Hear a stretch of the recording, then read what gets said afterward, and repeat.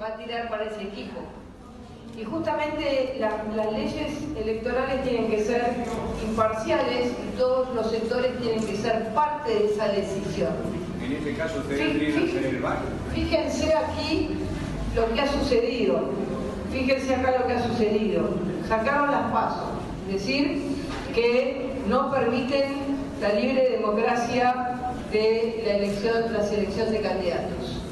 Segundo, había una ley que era razonable, que decía que no se podían cambiar las leyes electorales 18 meses antes de una elección. Bueno, digamos, borraron con el codo lo que escribieron con la mano. Y después de eso, después de todo eso, quieren arreglar su interna partidaria. Y entonces le meten a todos los sanjuaninos la traición a la voluntad de su voto, del voto de cada sanjuanino. Cada sanjuanino cuando vote va a votar de manera indirecta.